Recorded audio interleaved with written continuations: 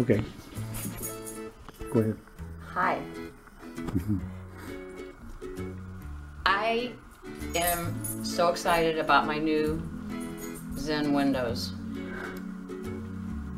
Everything has gone like clockwork and it's been wonderful.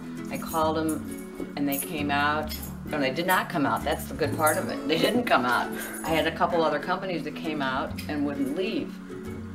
But I worked with Dennis over the phone and over email and um, knew just what to do before they got here.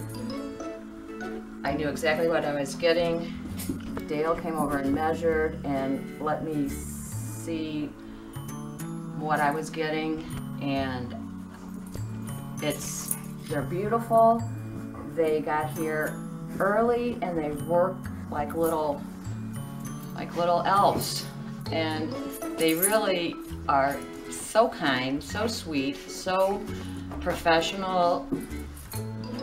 I can't say enough about the experience I've had with Zen Windows. It's been a Zen experience.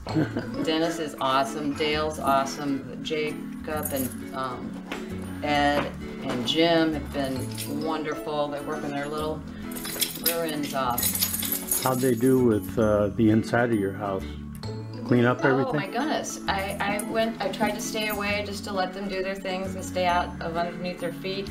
And I went upstairs and everything's cleaned. It makes my walls even look whiter and shinier and brighter. It makes everything look better.